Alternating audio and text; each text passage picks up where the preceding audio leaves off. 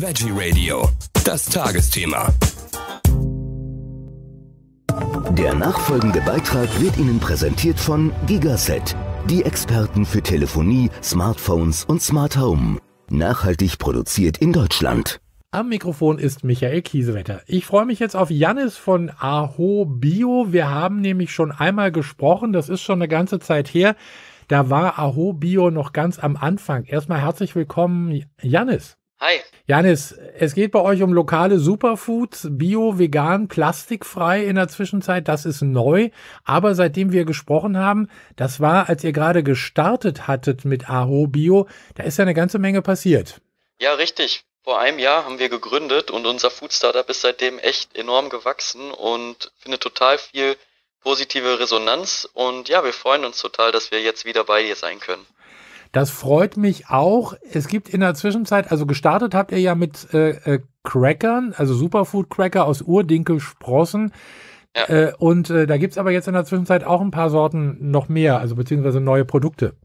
Ja, genau. Also wir haben im ersten Jahr, nachdem wir mit unseren drei Sorten Aho Cracker gestartet sind, auch noch zwei Sorten ähm, Superfood Pasta rausgebracht. Da haben wir einmal die glutenfreien Buchweizensprossennudeln und dann auch noch die gekeimten Ähm, wir haben auch ähm, uns weiterentwickelt, so dass wir gesagt haben, wir wollen auch Rohstoffe anbieten. Wir hatten viele Leute, die gesagt haben, hey, ihr macht jetzt so tolle Produkte aus deutschen Bio-Zutaten.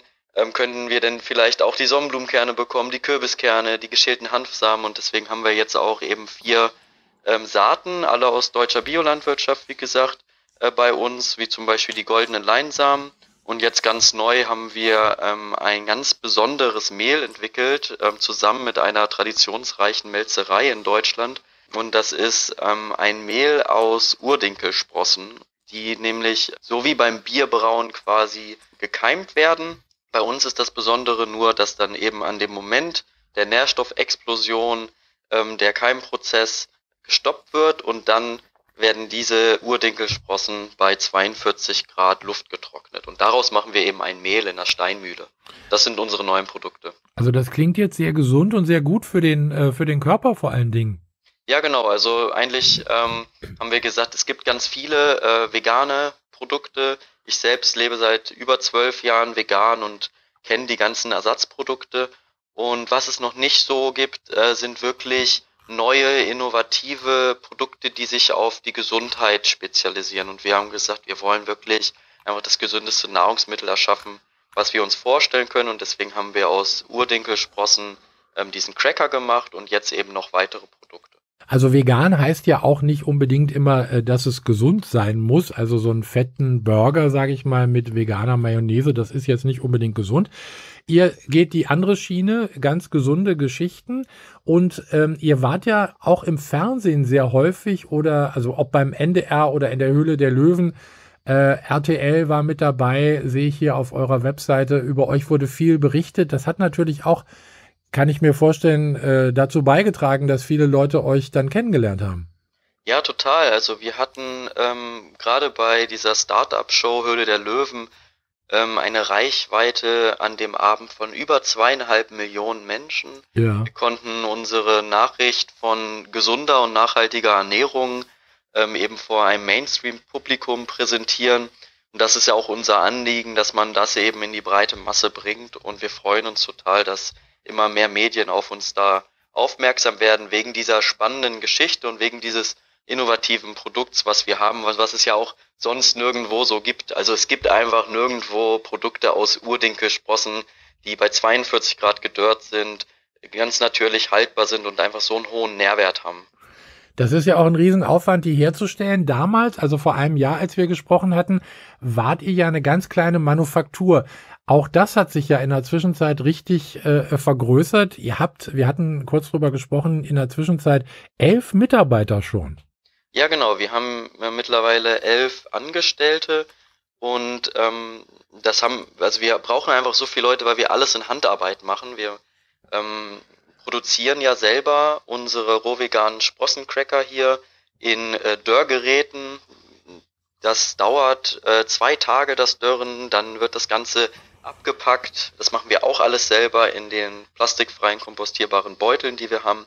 Und wir verschicken sogar selber. Also wir machen auch die Logistik selber in Handarbeit mit ökologischem Versandmaterial und dann ähm, wird das Ganze eben auch immer persönlich beschrieben. Wir haben einfach eine enge Kundenbindung da und das braucht einfach viel Zeit und Liebe und deswegen haben wir eben elf Leute, die sich darum kümmern, dass die Pakete dann auch direkt beim Kunden ankommen. Ich äh, habe die ganze Zeit überlegt, wenn jetzt also äh, die Produktion so äh, stark gesteigert wurde, gibt es denn überhaupt so viel Sprossen? Ja, das ist natürlich total äh, schwierig. Es ist sogar so, dass es nicht so viel Urgetreide gibt. Normalerweise wird ja einfach ein moderner gezüchteter Weizen oder auch eben ein ähm, Dinkel ähm, genommen.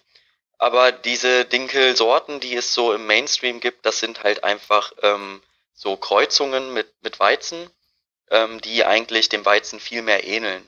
Und was wir nutzen, ist ja ähm, der sogenannte Oberkulmer Rotkorn. Das ist wirklich eine Ursorte vom Dinkel. Der ist, ähm, der hat weniger als 0,01 Prozent Weizeneinkreuzung und das ist eine so alte Sorte, dass die nicht so oft angebaut wird. Und deswegen haben wir jetzt angefangen, auch direkt mit ähm, den Landwirten ähm, zusammenzuarbeiten und wir haben jetzt einen Landwirt gefunden hier aus unserer Region. Das ist uns nämlich ganz wichtig, dass die Transportwege nicht so weit sind. Ähm, der für uns Oberkulmer Rotkorn anbaut. Das ist 20 Kilometer entfernt von unserer Firma Aho. Und ähm, wir haben eben wie für das Sprossenmehl ähm, eine Melzerei gefunden, die für uns ähm, nach unserem Verfahren eben aus dem Oberkulmer Rotkorn Sprossen ziehen kann. Und dadurch ähm, gehen wir halt natürlich unkonventionelle Wege, aber es ist uns einfach sehr wichtig, dass wir wirklich dieses Urgetreide benutzen und auch daraus eine Qualität erzeugen, die es sonst nicht so gibt durch diesen Keimvorgang. Also es könnte aber auch durchaus mal passieren, wenn keine Sprossen da sind, könnt ihr nichts produzieren. Ja, das äh, kann passieren. Ähm, und es ist auch oft so, dass wir sagen, okay, wir ähm, haben jetzt zum Beispiel die und die Sorte gerade nicht. Ähm, das kommunizieren wir dann an die Kunden und es ist einfach so, dass wir eine handarbeitliche Firma sind. Es ist immer noch klein ähm, gegenüber allen anderen. Ähm, andere Firmen machen Massenprodukte, also auch, auch Demeter-Betriebe, die, ähm, die bedienen echt ähm, Zehntausende von Menschen und Bioläden. Wir machen alles im Direktversand durch mhm. unseren Online-Shop bei www.aho.bio und das ist einfach ähm, deswegen eine viel kleinere Menge. Und es kann immer mal sein. Und wir schreiben dann aber, ähm, okay, ähm, in vier Wochen gibt's das wieder oder es gibt noch tausend Packungen. Und ähm, ja, so ist es halt, klein aber fein. Wollte gerade sagen, also äh, ihr produziert zwar mehr als noch vor einem Jahr, also deutlich mehr, aber es ist immer noch keine Massenproduktion. Wenn ich auch so überlege an äh, Firma wie, du hast Demeter genannt, also wie Bioland zum Beispiel, die sind mhm. ja in allen Lidl-Geschäften in ja. Deutschland vertreten. Das, das ist ja dann trotz, trotz Bio eine richtige Massenproduktion. Total, ja. Und da muss man dann auch immer überlegen, was ist wirklich Bio. Mhm. Ähm, wir haben ähm, zum Beispiel unsere Sommelungkerne, unsere goldenen Leinsamen, unsere geschälten Hanfsamen, ja. unsere Kürbiskerne. Die kommen aus deutscher Biolandwirtschaft. Und das ist natürlich immer was ganz Besonderes, weil die meisten Betriebe, die verarbeiten Produkte, Bioprodukte, mhm. ähm, die aber aus China kommen. In jedem ähm, Supermarkt, auch in jedem Bioladen, wenn man Leinsamen einkauft, dann kommen die aus Kasachstan oder China, die sind in Plastik das sind halt Unterschiede. Und ähm, wir achten da wirklich drauf, dass wir ähm, regionale Bauern ähm, nehmen, ja. für uns das anbauen. Und da ist die Qualität ganz anders. Zum Beispiel das Feld, wo unsere goldenen Leinsamen wachsen, da dürfen Wildkräuter zwischendrin wachsen. Mhm. Da wird nicht gespritzt, auch nicht das bisschen, was erlaubt ist bei Bio. Und das kann man natürlich äh, von, von China-Ware nicht unbedingt äh, behaupten. Das ist natürlich Bio äh, zertifiziert, aber das ist eine riesen, riesen Monokultur. Und wir wollen wirklich sagen, okay, wir möchten nachhaltig wirtschaften und deswegen ist es uns auch wichtig, regionale Kleinbauern zu unterstützen, die hier aus der Region kommen. Das ist ein ganz toller Ansatz, eine ganz tolle Idee und äh, ihr seid ja auch sehr erfolgreich äh, mit dieser Idee geworden. Das ist ja dann auch eine schöne Belohnung, oder? Ja, das freut uns total. Wir, wir wussten das selber gar nicht unbedingt, weil wir haben einfach gemacht, wo wir hinterstehen können. Wir haben alle unsere Jobs gekündigt und gesagt, wir gründen jetzt ein Startup, wo wir 100% hinter den Werten stehen können. Wie gesagt, ich bin seit über zwölf Jahren vegan und mir sind auch andere Aspekte ganz wichtig, wie dass es wirklich das wirklich plastikfrei eingekauft wird, aber die Möglichkeiten gibt es halt nicht. Und wir sind halt stolz darauf, dass wir jetzt eine Möglichkeit erschaffen haben, wo wirklich alles von vorne bis hinten stimmt, wo es bio, vegan, plastikfrei ist, wo für jede verkaufte Packung ein Baum gepflanzt wird und ähm, wo auch noch viele andere Sachen im Hintergrund sind, wie diese Regionalität. Und ja, ist total unglaublich, dass der Zeitgeist jetzt ähm, zehn Jahre später so ist, dass die Leute verstehen, ähm, was dahinter steckt und besonders auch viele Leute, ähm, die sonst mit dem ähm, Thema Vegan nicht so viel zu tun hatten, bei uns bestellen und sagen, wir unterstützen das sehr gerne, weil wir eben was Nachhaltiges für unsere Erde damit machen. Eine wunderbare Idee. Ich möchte noch mal ganz kurz zum Abschluss auf das Mehl zurückkommen. Diese, also dass Sprossen gesund sind, das wissen wir ja, das hört man ja auch oft. Äh, ich kann mir jetzt vorstellen, wenn ich mit diesem Mehl backe, kann ich das so ganz normal verwenden? Also wie, wie, ich sage es mal, wie, wie normales Dinkelmehl, was ich im Supermarkt kaufe? Ja, also das Aho-Sprossenmehl ist sowas zwischen Weißmehl und Vollkornmehl von der Backeigenschaft. Ja. Das ist natürlich ganz toll, weil normalerweise sind Rezepte ja immer mit Weißmehl.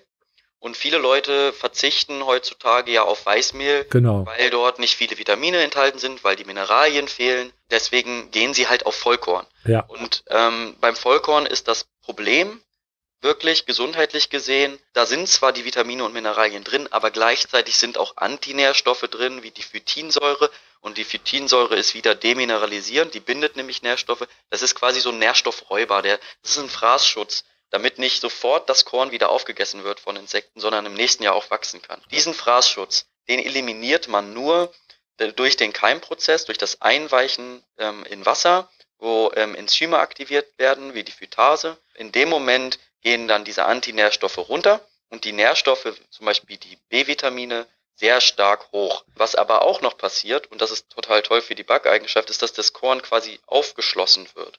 Und die, durch dieses Aufschließen ähm, und das anschließende Vermahlen in der Steinmühle hat man eine viel sanftere, weichere Konsistenz, die so ein bisschen süßlich ist, weil die Stärke in leichter verdaubare Zweifachzucker ähm, abgebaut wird. Und deswegen ähnelt ähm, das hohe Sprossenmehl äh, von der Backeigenschaft mehr dem Weißmehl und ist nicht ganz so schwierig äh, zu benutzen wie Vollkornmehl.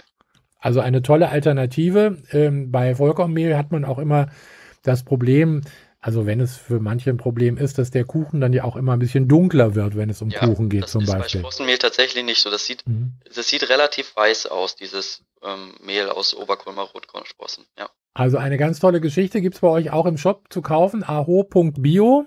Da kommt man auf eure Webseite und äh, ja, da äh, findet man auch alle eure Produkte.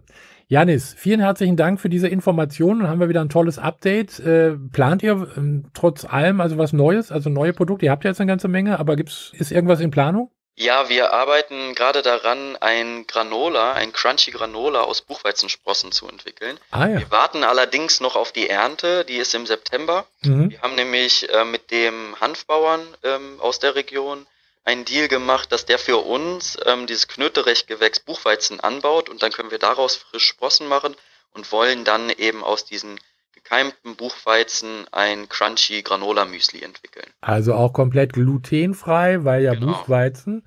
Tolle Geschichte. Äh, ich würde sagen, spätestens dann hören wir nochmal, wie, wie das funktioniert und äh, wie das läuft.